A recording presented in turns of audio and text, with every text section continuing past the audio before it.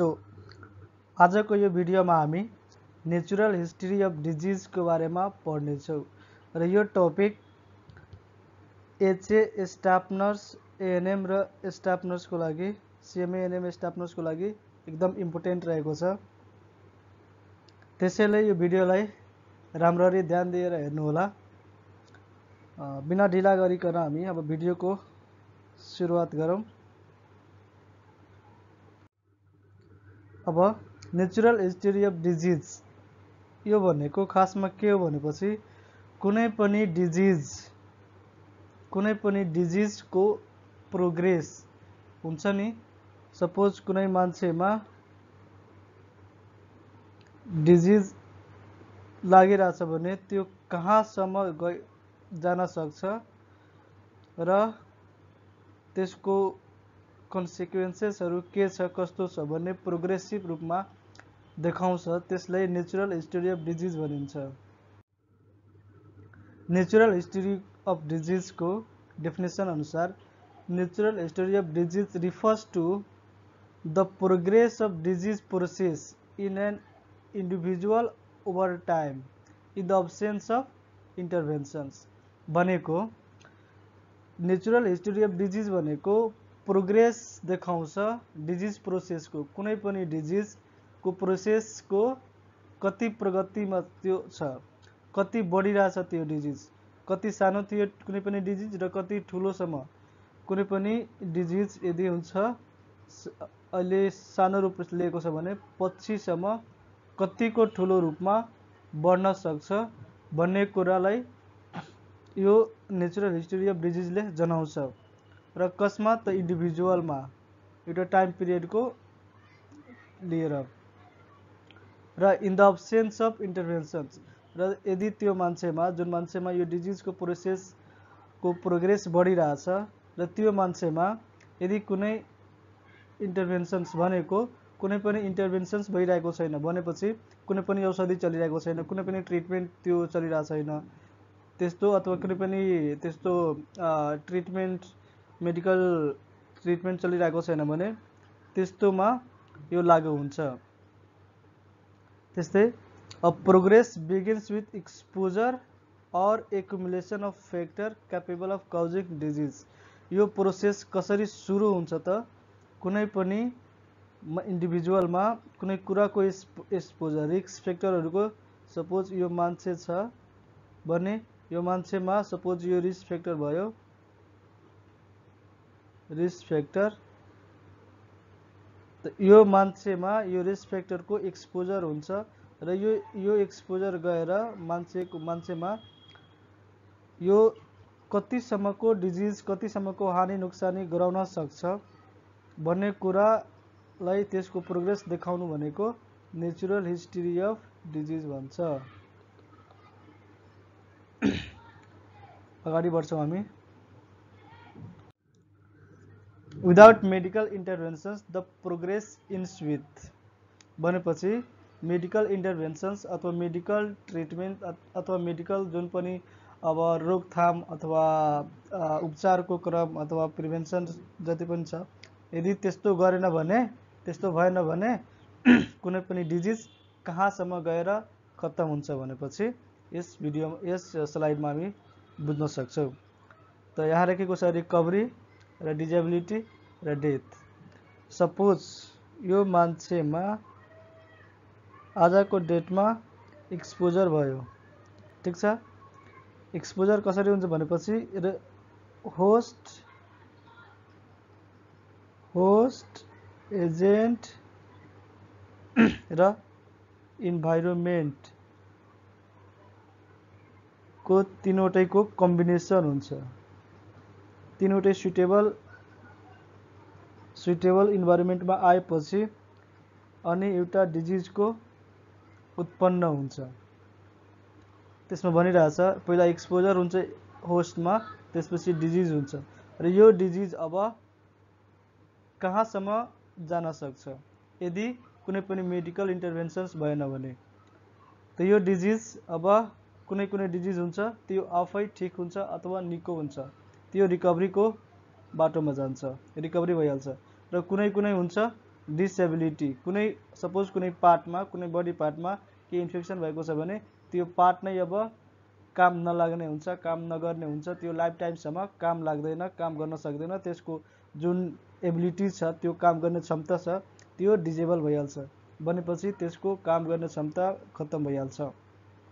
र अर्को कुरा छ डेथ सपोज कुनै मान्छेलाई एउटा इन्फेक्सियस डिजिज नै लाग्यो भने यदि मान्छेलाई मेडिकल ट्रि मेडिकल ट्रिटमेन्ट इन्टरभेन्सन केही गरेन भने त्यो पछिमा त्यो रोगको प्रोग्रेस लास्टसम्म भएर मान्छेको डेथ पनि भएको हुन्छ र डेथ पनि हुनसक्छ यहाँसम्म क्लियर आशा छ सब क्लियर अगाडि बढ्छु। अब यो किन इम्पोर्टेन्ट छ त? किन? यो नेचुरल हिस्ट्री अफ डिजिज किन डक्टरहरूले अथवा हामीले पब्लिक हेल्थ वर्कर अथवा जति पनि हामीले कम्युनिटी हेल्थ वर्कर छौँ, हामीले यो कुरा किन बुझ्नुपर्छ? त यो इम्पोर्टेन्ट छ किनकि it is one of the major elements of descriptive epidemiology भनेपछि, कुनै पनि स्टडीको लागि, कुनै पनि कुरा, कुनै पनि डिजिजको स्टडी गर्छ भने, त्यो स्टडीको डिस्क्रिप्सन दिन्छ यो नेचुरल हिस्ट्री अफ डिजिजले र यो हेल्प र यो हेल्प गर्छ understanding the progress of disease कुनै पनि डिजिजको प्रोग्रेसलाई हुन्छ नि, बुझ्न सक्छ यो थ्योरीबाट यो नेचुरल हिस्ट्री अफ डिजिजबाट ठिक छ? And the process and its pathogenetic chain events is must applicable of preventive measures भनिरहेछ, यो किन इम्पोर्टेन्ट छ भनेपछि, यसले डिजिज प्रो प्रोसेसको बारेमा बताउँछ र पेथोजेनेटिक कुनै पनि एन्टिजेन कुनै किटाणुको कति त्यो हार्म गर्ने सक्ने क्षमता रहेछ, त्यसको चेन इभेन्ट एकदम जरुरी हुन्छ, प्रिभेन्टिभ मेजर्स एप्लाई गर्नलाई।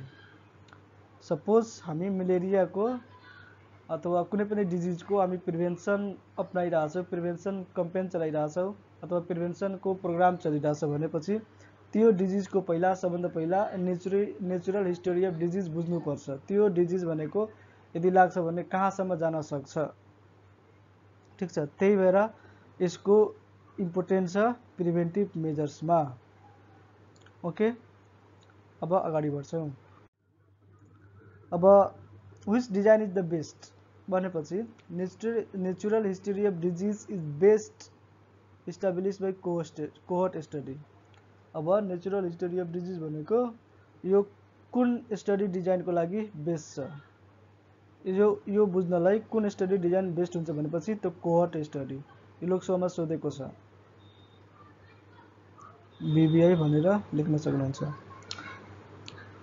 Is this study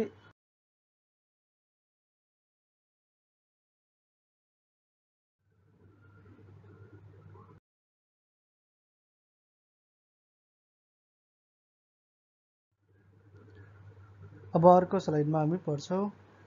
Schematic diagram of natural history of disease in a patient patient एउटा पेसेन्टमा यो नेचुरल हिस्ट्री अफ डिजिज कसरी एक्जिस्ट गर्दो रहेछ भनेपछि हामी यो डायग्रामबाट बुझ्न सक्छौँ र यसले यो दुईवटा फेजको हुन्छ। एउटा प्रिपेथोजेनेसिस र एउटा यो नि the process in the environment भनेपछि यो यस्तो प्रोसेस छ जुन इन्भाइरोमेन्टमा हुन्छ। इन्भाइरोमेन्टमा यो प्रिपेथोजेनेसिसमा होस्ट एजेन्ट यो होस्ट एजेन्ट र इन्भाइरोमेन्टको इन्भाइरोमेन्टको कम्बिनेसनमा यस सबै एक आएपछि अब कुनै पनि डिजिजको उत्पन्न हुने सुरुवात हुन्छ अहिले सुरु भएको तर हुने सुरुवात हुन्छ भन्ने फेजलाई हामी प्रि प्याथोजेनेसिस भनिन्छ र अर्को प्याथोजेनेसिस फ़ेज़ भनेको यसमा मान्छेमा किटाणु गएपछि यो प्रोसेस हो, जब यो तिनवटै होस्ट एजेन्ट र एक आपसमा मिलेपछि र जब मान्छेभित्र मान्छेभित्र यो सपोज़ टिबीको किटाणु गइसक्यो र टिबी अब कुनै पनि प्याथोजेनिस आई मिन पेथोजेन यसमा गयो भनेपछि अब म्यानमा कतिको प्रोग्रेस गरिरहेछ, यो मान्छेले कतिको अब हानि नोक्सानी गरिरहेछ कतिको डिजिज गराइरहेछ भन्ने कुरा देखाउँछ। अनि त्यसलाई हामी पेथोजेनेसिस फ़ेज़ भन्छौँ। अर्को स्लाइडमा हामी अब यहाँ हेर्न सक्नुहुन्छ, यो प्रि पेथोजेनेसिस र अर्को पेथोजेनेसिस। पेथोजेनेसिसमा बिफोर म्यान इज़ इन्भल्भ यहाँ एजेन्ट, होस्ट र इन्भाइरोमेन्टको मेलमिलाप हुन्छ। यिनीहरू एक्सपोजरमा आउँछ र यिनीहरूको इन्भाइरोमेन्ट राम्रो बन्छ र अब एजेन्ट, यहाँ एजेन्ट भनेको ब्याक्टेरिया भयो। भाइरस हुनसक्छ फङ्गाई हुनसक्छ र होस् भनेको म्यान अथवा एनिमल हुनसक्छ र इन्भाइरोमेन्ट भनेको अब कतिको त्यो मान्छे ससेप्टिबल छ, कतिको उसको इम्युन सिस्टम कमज़ोर छ, र कतिको यो यो ब्याक्टेरिया भाइरसहरूको क्यापेबल छ। त्यस्तो इन्भाइरोमेन्टमा इन्क्लुड गरिएको छ यहाँ। र अब यसमा prepathogenesis it's bring agent host together or produce a disease provoking stimulus भनेको यो फेजमा डिजिजलाई हुनलाई, ठिक छ डिजिज प्रड्युस गर्नलाई एजेन्ट र होस्टलाई साथमा ल्याउँछ। र यो प्रोभोक कि मतलब अब डिजिजको उत्पत्ति होस् भनेर डिजिजको स्टिमुलस होस् भनेर अब त्यसपछि सुरुवात हुन्छ माइन्डमा भनेको पैथोजेनेसिस फ़ेज़ अब पैथोजेनेसिस फेजमा धेरै कुरा हुनु, धेरै कुराहरू हुनसक्छ यहाँ सुरुमा अब जब मान्छेको, जब इन्डिभिजुअलको बडीमा जान्छ भित्र, त्यसपछि सबभन्दा पहिला त्यो ब्याक्टेरिया, भाइरस अथवा जे पनि छ, त्यो मल्टिप्लिकेसन हुन्छ। Multiplication of agent. त्यसपछि टिजु अर फिजियोलोजिकल चेन्जेस। त्यसपछि जब मल्टिप्लिकेसन हुन्छ, त्यसपछि इन्डिभिजुअल इन्डिभिजुअलमा मानव शरीरमा यो टिजु र फिजियोलोजिकलमा चेन्जेस देख्न थाल्छ। यो भयो यो भयो यहाँसम्मको फ़ेज़। र त्यसपछि अब आउँछ clinical horizon sign and symptoms.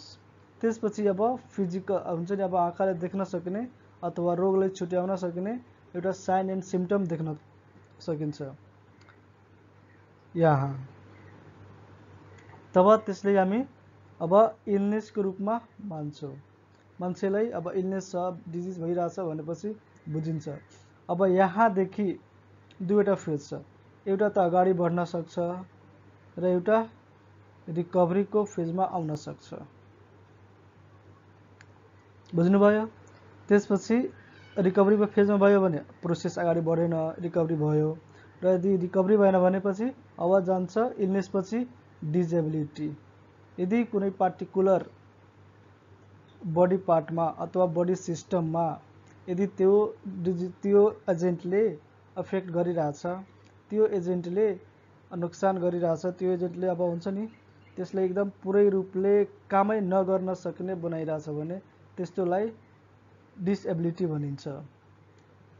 त्यसपछि अब आउँछ डिफेक्ट अब डिजेबिलिटी पछि पनि अब अझै प्रोसेस अगाडि बढ्यो भने डिफेक्ट हुन्छ। र त्यसपछि फेरि अब क्रोनिक स्टेट हुन्छ।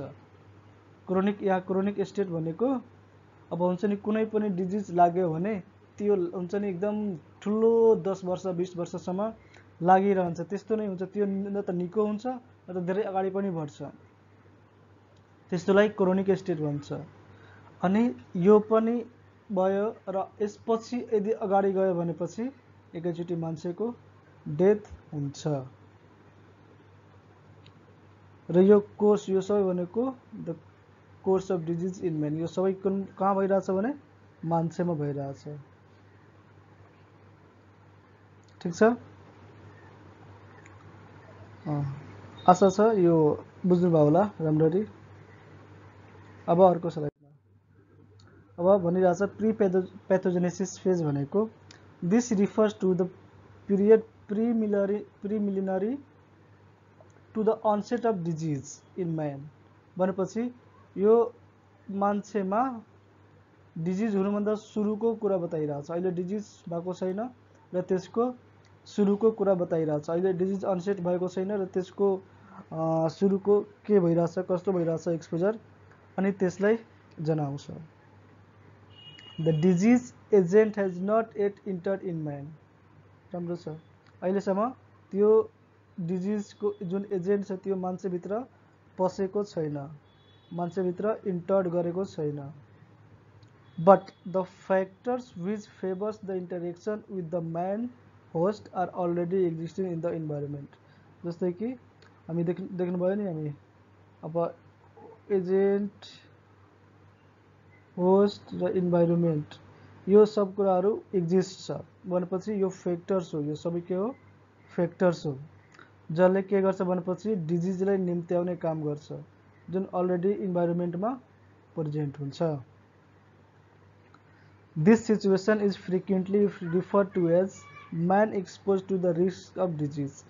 र यो सिचुएसनलाई यदि यस्तो छ भने एजेन्ट एजेन्ट एजेन्ट होस्ट र इन्भाइरोमेन्ट एक आपसमा अब त्यो मिलिरहेछ र त्यो एक्जिस्ट छ भने यस्तो कन्डिसनलाई man expose to the risk of disease भन्छ। बुझ्नुभयो? ओके अब pathogenesis phase This phase begins with the entry of disease agent in man अथवा इन ससेप्टिबल ह्युमन होस्ट भनेपछि यो यो जुन छ प्याथोजेनेसिस फ़ेज़ यो कहाँबाट सुरु हुन्छ भनेपछि यो मान्छेको शरीरमा अब जुन एजेन्ट छ, त्यो इन्टर गरिरहेछ। सपोज़ यो मान्छे छ र यसको भित्र अब इन्टर गरिरहेछ एजेन्टले यहाँ एजेन्ट भनेको ब्याक्टेरिया भाइरस फंगाई अथवा जे होता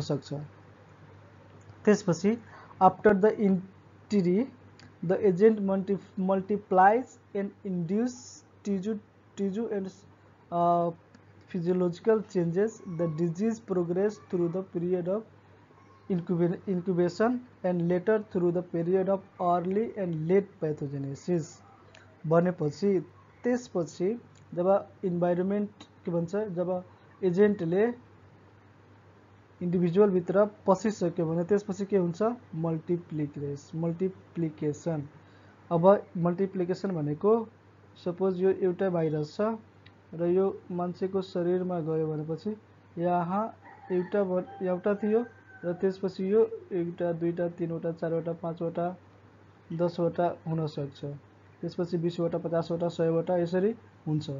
र एउटा एउटा एजेन्टबाट एउटा हुन्छ नि मोलिक्युल के त्यो वा भाइरसबाट अब हजारौँ करोडौँमा भइरहेछ भने मल्टिप्लिकेसन भन्छ।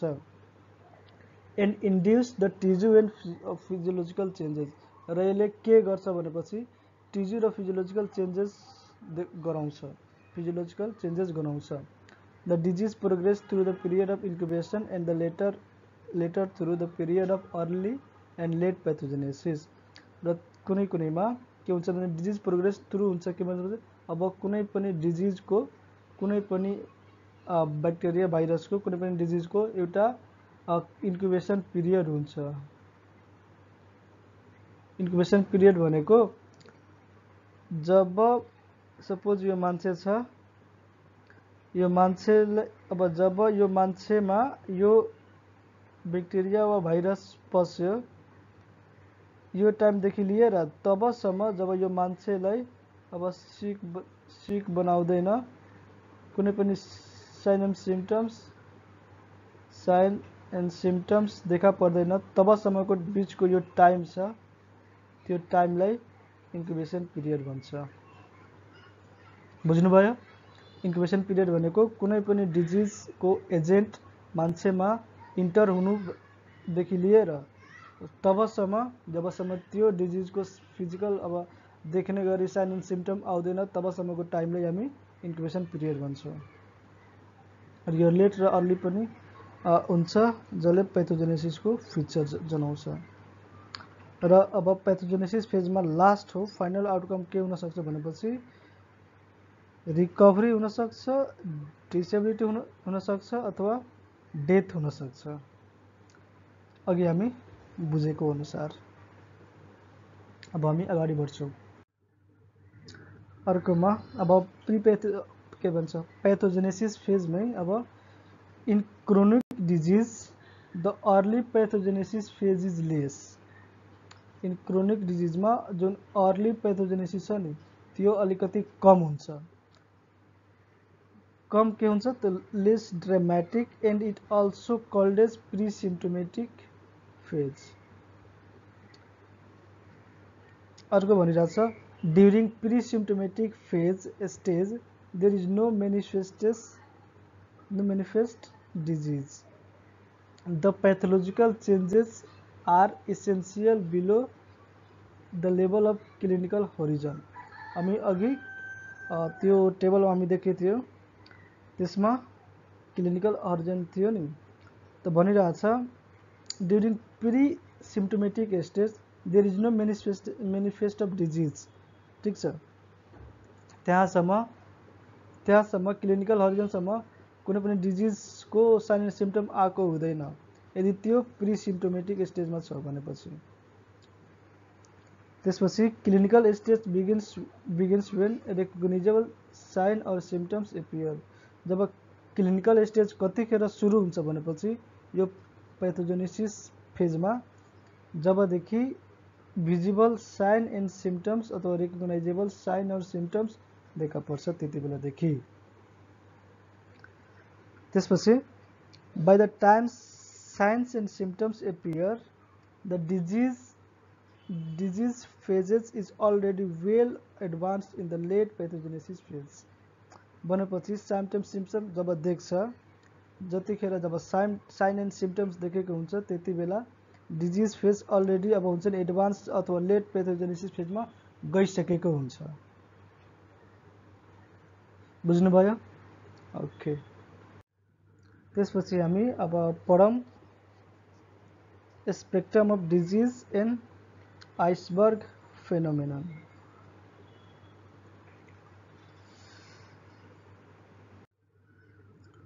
अब यहाँ स्पेक्ट्रम अफ डिजिज भनेको it is a graphical representation of variation in the manifestation of disease spectrum of हुन्छ स्पेक्ट्र स्पेक्ट्रम अफ हेल्थ र एउटा डिजिज त यहाँ हामी डिजिजको कुरा गरिरहेछौँ, र भनेको के हो ग्राफिकल रिप्रेजेन्टेसन हो जसले भेरिएसन अब मेनिस कुनै पनि डिजिजको मेनिफेस्टे मेनिफेस्टेसनको भेरिएसनलाई देखाउँछ कति टाइपको छ कस्तो कस्तो कुन कुन थरीको छ कस्तो कस्तो छ at the end of end of disease spectrum are subclinical infection which are not ordinarily identified and at the other end are fatal illness भनेपछि यो डिजिज स्पेक्ट्रममा एउटा के भनेपछि सब क्लिनिकल इन्फेक्सन हुन्छ र फेटल हुन्छ। जब डिजिजको स्पेक्ट्रमलाई हामी ड्र भनेपछि पछिको स्लाइडमा हाम्रो त्यो छ फिगर देखाउनेछु। यहाँदेखि डिजिज सुरु हुन्छ र यहाँदेखि खतम हुन्छ। त यहाँ छ सब क्लिनिकल सुरु हुन्छ। र कहाँ हुन्छ? फेटल इलनेसमा fatal raw in the middle of spectrum lies illness ranging in severity from mild to severe र यो बिचमा, जति पनि स्टेज आइरहेछ, त्यसमा माइल्ड टु सिभियरमा सिभियरको कुरा देखाउँछ।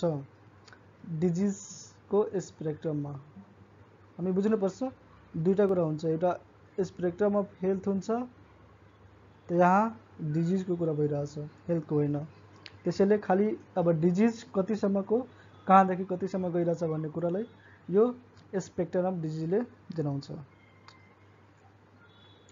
अर्को रहेछ These different manifestations are the result of individual different state of immunity and receptivity.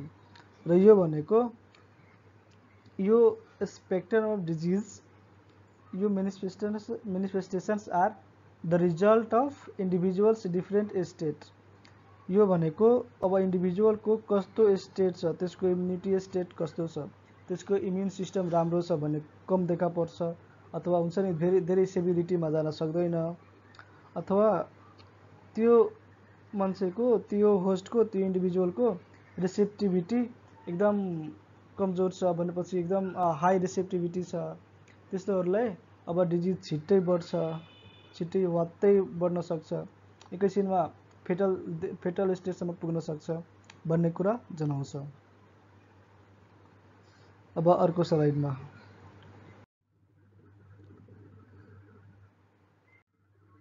अब यहाँ भनेको अर्को स्लाइडमा आइपुग्यो हामी। Iceberg of disease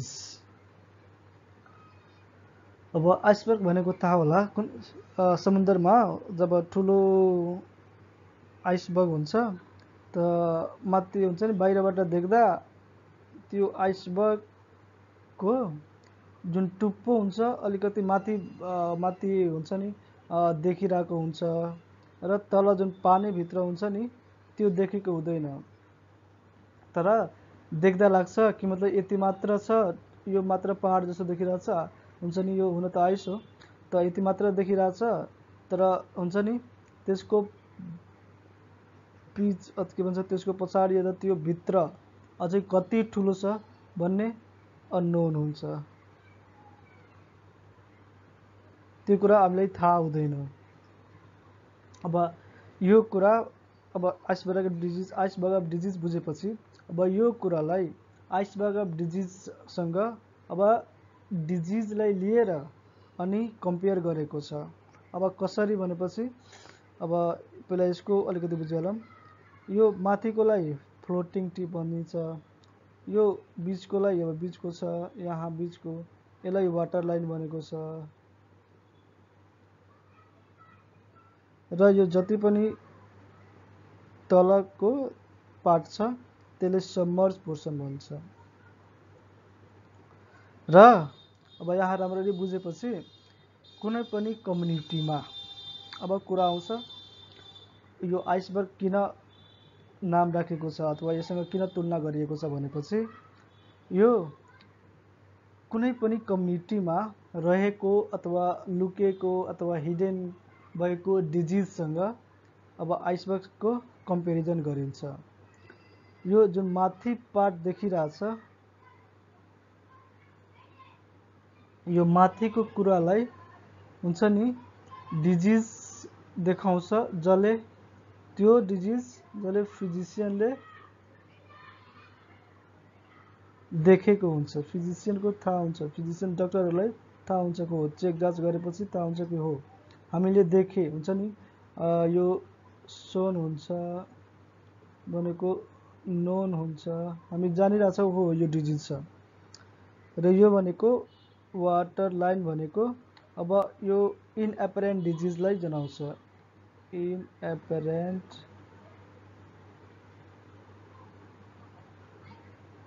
डिजिजले border line डिजिजलाई अब एकदम इम्पोर्टेन्ट कुरा सबमर्ज पार्ट अब।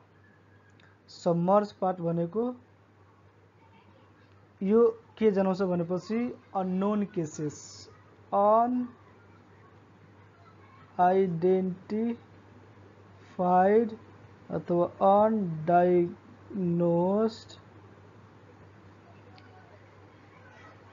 डिजिजहरू कुनै पनि कम्युनिटीमा सपोज यो कम्युनिटी छ त्यसमा कतिको डिजिज छ भनेपछि थाहा हुँदैन। जब मान्छे हुन्छ नि जब चेक जाँच गराइन्छ जब स्क्रिनिङ गरिन्छ अनि थाहा हुन्छ कि वास्तवमा यति डिजिज रहेछ। यो कम्युनिटीमा यदि कम्युनिटी छ भने यो यो कम्युनिटीमा धेरै डिजिज हुनसक्छ जस्तै कि यो फिगरमा देखाएको छ कि यो यो फिगरमा आइसबर्गसँग कम्युनिटीलाई कम्पेयर गरेको छ। त जति पनि अनि यो डिजिज कम्युनिटीमा भएको डिजिजसँग गरेको छ खासमा त यो जति पनि हाइट पोर्सन छ नि त्यो भनेको सजेस्ट गर्छ के भनेपछि यो कुनै पनि कम्युनिटीमा धेरै डिजिजहरू हिडेन हुन्छ। यो हिडेन कुराको देखाउँछ। बुझ्नुभयो? र यो यो पार्ट भनेको डक्टरले देखेको हुँदैन, डक्टरलाई थाहा हुँदैन, फिजिसियनहरूलाई थाहा हुँदैन। आइसबर्ग अफ डिजिजलाई यो एकदम इम्पोर्टेन्ट पनि छ, लोकसभामा धेरै सोधेको पनि छ। बुझ्नुभयो होला? हस्। अब अर्को स्लाइडमा हामी जाउँ। अब आइसबर्ग कन्सेप्ट अफ डिजिज भनेको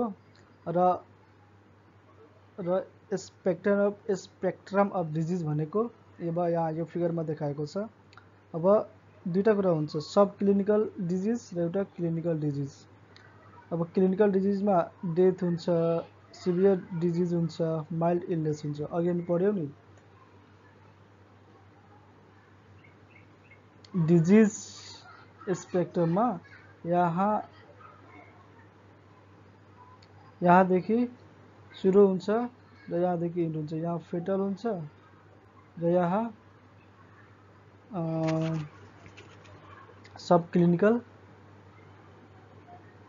सब क्लिनिकल हुन्छ। यो स्पेक्ट्रम अफ डिजिजको कुरा भइरहेछ।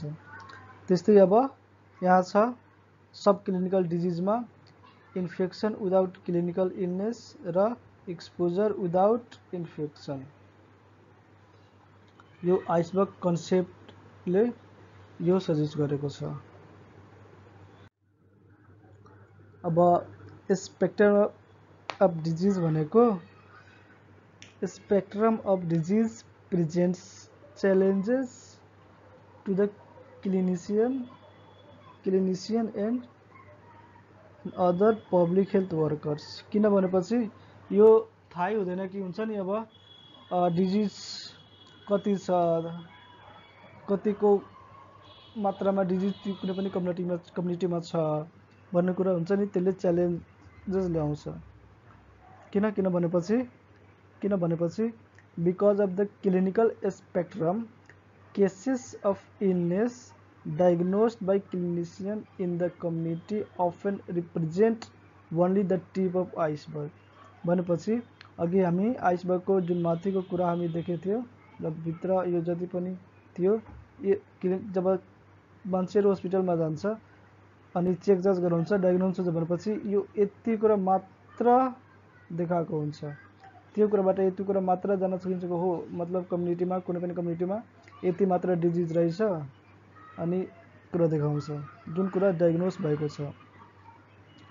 यहाँ tit may be additional cases may may be too early to diagnose or may remain asymptomatic र बाँकी रहेको जति पनि, अरू पनि छ भने त्यो एसिम्टोमेटिक हुनसक्छ जुन धेरै पोर्सनमा हुन्छ कम्युनिटीमा अथवा मतलब too early to diagnose diagnose पनि भयो धेरै पहिला नै साइन एन्ड सिम्टम अथवा केही कुरा देख्न बाँकी नै छ, तै पनि डायग्नोस भयो। भनेपछि यो स्पेक्ट्रम अफ डिजिज र आइसबर्ग आइसबर्ग अफ डिजिज एकदम connected the public health workers, the challenges is the, that person with undiagnosed infection may be able to transmit them to others. यहाँ भनिरहेछ for the public health worker yo challenge के छ भनेपछि त्यो person जो person यो पार्टमा छ अब यहाँ हेर्नुहुन्छ। यो पार्टमा छ भनेपछि जो मान्छे डायग्नोस्ड गराएको छैन त्यो डायग्नोस भएको छैन त्यो र त्यो मान्छे डिजिज छ त्यो मान्छे डिजिज छ के भन्छ कजेटिभ एजेन्ट लिएर घुमिरहेछ, त्यसलाई क्यारियर भन्छ। र यो क्यारियरले त साइन एन्ड सिम्टम देखाएको छैन। तर कहिलेकाहीँ के हुन्छ भनेपछि, यो नर्मल मान्छेलाई डिजिज ट्रान्समिट गरिदिन सक्छ। त्यसैले भनेको infection may be able to transmit them to others अब अर्को कुरा। अब अर्को भिडियोमा हामी कन्सेप्ट अफ प्रिभेन्सनको बारेमा कुरा गर्छौँ। आजको लागि यही भिडियोले समाप्त गरौँ र थ्याङ्क यू सो मच यो भिडियो हेरिदिनु भयो र हुन्छ भने तपाईँ सब्सक्राइब पनि गर्न सक्नुहुन्छ। अब यो च्यानलमा केही महिना केही महिना हामी एकदम इनेक्टिभ थियो। र अब यो यो च्यानलमा अब धेरै भिडियोहरू आउने गर्छ। त्यसैले अब ट्युन्ड बस्नु होला। हामी भिडियो लिएर आउँदै गर्छौँ। Thank you so much